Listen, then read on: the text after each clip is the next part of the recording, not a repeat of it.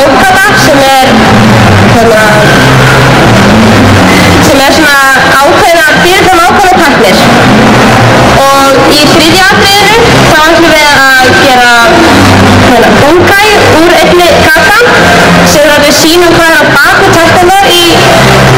í gatanar